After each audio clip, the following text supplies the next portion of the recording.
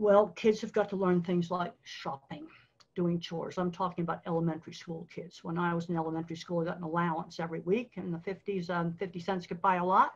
I just saw an ad the other day for a child's debit card, and a teenager was um, trying to figure out if he had enough money on to buy earbuds and learning the concept of saving. I was buying much cheaper things than that. Um, and I'm realizing just how important that was.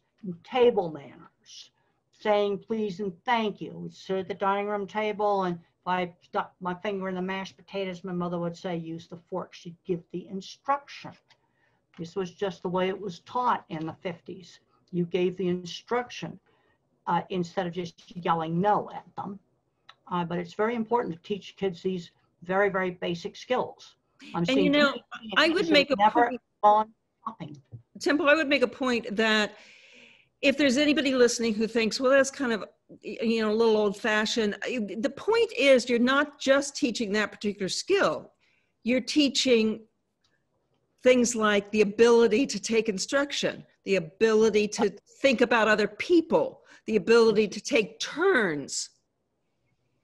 All well, of those turn taking was a very big part of my therapy. We did a lot of turn taking with board games, and we played board games and card games, and that taught turn taking.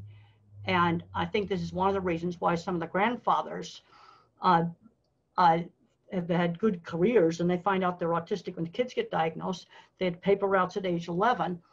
You see, social skills have to be taught in a much more systematic manner. It, it, it doesn't come naturally. Right. And if we teach them by giving specifics, not general ideas, but no, no, specific. general doesn't work. You're going to say, if I stick my hand in the mashed potatoes, it say I use the fork. I can remember chewing with my mouth open. Mother would say, you know, cut your, close your mouth. Um, and because other people think it's disgusting, she would give the reason right. chewing a mouth closed. She would give the reason and then she would give the alternative behavior. That's right. That's right. And sometimes we forget to do that because we're just frustrated by a child and we just tell them to stop, but that's not teaching them anything. But see, that doesn't teach them what they should do. Right. See, that's the really important thing. And this right. was all done very calmly. There wasn't any yelling or screaming. Okay, we're at the dining room table and I reached across for the serving dish. Mother would just say, ask your sister to pass it. Yeah. It was done just like that. You know, and these are these are very simple things they're not necessarily something that would be in an IEP or, or in a child's therapy, but they are the building blocks of real life. You're going to need these things, whether, no matter what your, you know, verbal abilities are, no matter what your intellectual abilities are, you, you need some basic sense of responsibility for your own behavior and I think too often we let the years go by and then try to play catch up. And there's too well, many. You, this is where I still have a problem with interrupting. I can't get the timing right. That's okay. My process speed is too slow. And this table manner stuff, you're talking, you know, like seven. You know, this was really emphasized. to me, you know, I was a young kid, and that was done with all the children in the neighborhood. Right.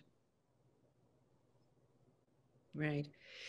It's a lot easier to teach a young child than to go back and try to break bad habits that have developed over the years.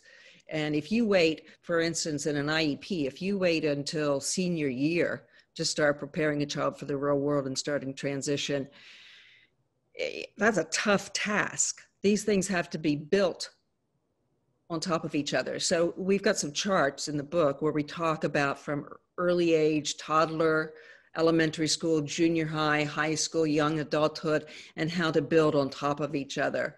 And I think you were you were really fortunate, Temple, that your mom kind of just inherently had that wisdom to do that. Well, that it was also kind of the standard thing that was done in the neighborhood when I was a child.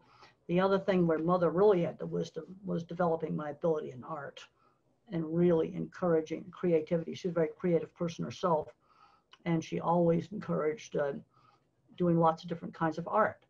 You know, and then a kid in another family, hopefully good at music or math, and and the parents and the teachers need to be encouraging that. See, that's developing the strength.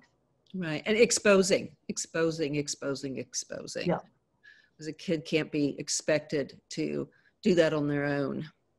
And that doesn't take a lot of, uh, you know, formal programming or, or money necessarily. You've, I'm sure you've got some great examples of how kids have learned real world skills that didn't cost anything. Well, we got kids growing up today that um, don't use tools. I taught a girl in my class who had never used a ruler to measure anything. Hmm. Um, how's a kid going to find out what he likes or hates tools if they're not exposed to them? These are all things that we were all exposed to doing all kinds of things.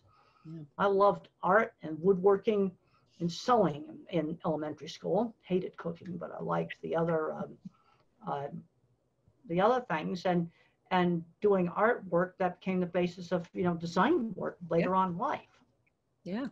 And i've heard you talk about some kids go down to the like local um, car mechanic and start to learn about tools and start to see if they're interested in cars and that could be a great avenue for the future. well, kids just aren't you know doing a lot of these things today. We got kids totally removed from the world of practical things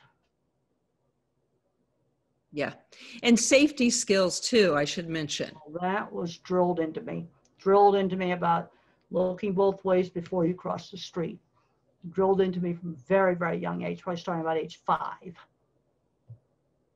And money skills?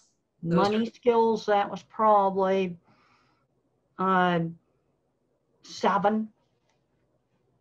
You know, it was young. I can remember when I was 10, my sister and I would save for a month uh, of allowance so we could go spend it at the county fair on games. You see, but I'm realizing now the important skills that that taught. Right, right. You had no idea at the time, of course. That's right. Yeah. All right. Well, those are the kinds of things that we talk about in this mindset. So, to summarize, what we're saying is that it's never too early. Expose your kids, let them take baby steps. The real world's coming get them prepared for it. Well, that's what we got to do. And there's a tendency to overprotect. I'm seeing too many 16 year olds and teenagers that have never gone shopping. This is absolutely ridiculous. Yeah. So thanks for tuning in. Um, we'll talk some more about some other mindsets another time. Bye bye. Thanks, Temple.